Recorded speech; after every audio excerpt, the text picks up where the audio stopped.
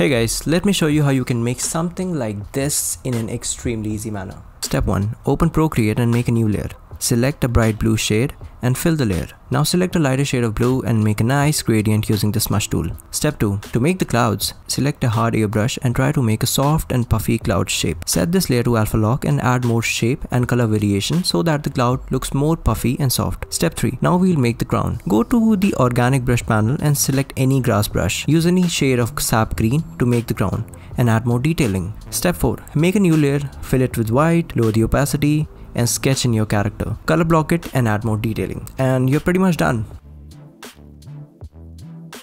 Okay, we're done. I hope you enjoyed the video and I'll see you in the next one. Bye.